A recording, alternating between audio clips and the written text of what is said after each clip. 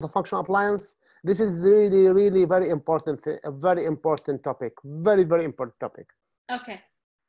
So listen, uh, guys, and uh, as an advice, and this is a study by Robert Lee, a professor at Queen Mary University, and he said that a minimum and minimum period of functional appliance is actually nine months. So if you are lucky and you get everything in three months, don't stop because mainly it is only uh, this, uh, it's only posturing forward Yeah. and and it is an oedema in the condyle which prevent the mandible from back uh, from sitting backward so it is a false correction if Yeah. it's six months it is a false correction if if you get a result in three months two months four months five months you should continue until the nine months okay at least nine months because you if within nine months the all this um, uh, uh, and all this collagen fiber which is a temporary collagen fiber type 10 will be converted to a more permanent stable fiber that will hold the mandible in their place. So to sum up if you find your case uh, uh, get a correction within three months continue to, to, to nine months.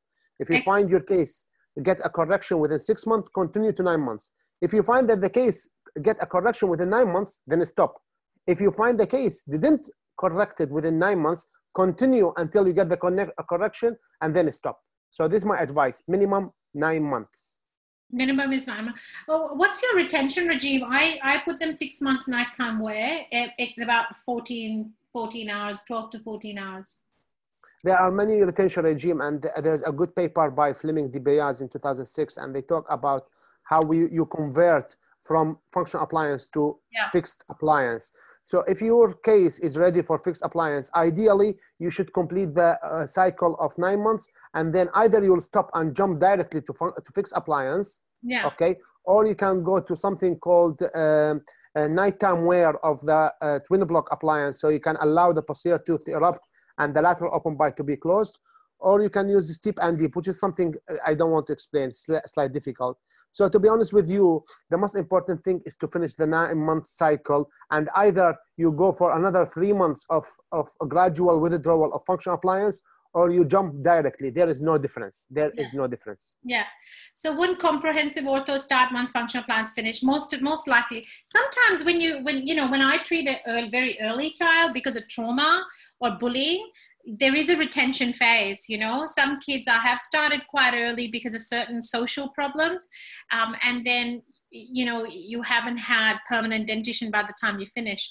So there can be that nighttime retention phase a little bit longer for them. So, but most likely, most kids, if you time it right, you should do one phase. And in our course three, we're going to go into that um, evidence-based lecture on early treatment versus you know two phase versus one phase what do the rcts tell us there's so many randomized controlled trials about it um, and we are going to go into a big critical appraisal in that um, um, uh, in that course um, what do you use as a retainer so I usually use the existing appliance as the retainer. So that is really um, as long as it'll fit. Um, I don't know if Mo has a different retainer or you could just convert to a Hawley and, um, you know, but I think you still want that lower. I just use the twin block as a retainer. Well, to be honest with you, Vandana, if you're if you are starting your treatment in the late mixed dentition, yeah. so ideally by the end of functional appliance phase, which is we agreed it is nine months, Yeah. hopefully all the teeth erupted and you are ready to go to fix appliance and you don't Yeah. need a retainer. You might use uh, the functional appliance uh, for three months as at night time until the rest of the teeth erupt. But the problem is sometimes we start in specific cases, we start in the mid-mixed dentition at the age of eight. Yeah. Okay, And I've, and I've had those cases where I've started quite early because of certain reasons. Yeah, ma- mainly be- because when there is a risk of trauma, when Yeah. there is a risk of bullying, and uh, you know uh, all of this, then if you started early, the problem is how you will hold the result until the permanent teeth erupt and the second phase of treatment, which is which is usually by fixed appliance. This is the issue, and to be honest with you, you just uh, again for nine months and stop until the patient. I reduce your overjet. You are at lower risk of trauma lower risk of bullying, then I want to see you back at the age of 11 when your teeth erupt maybe I will need another functional appliance phase, Mm. or maybe Yeah. I will jump directly to fixed appliance. I don't know. What Yeah. I did is only interceptive to reduce the risk uh, of trauma and bullying. So Yeah. you be honest with them and explain to them what's going on.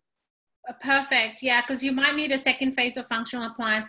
I can I also add to that. Um, we I've had some patients who've come in who've seen a certain dentist who does a lot of functional, and he's told them that by having functional treatment, they're going to avoid surgery later.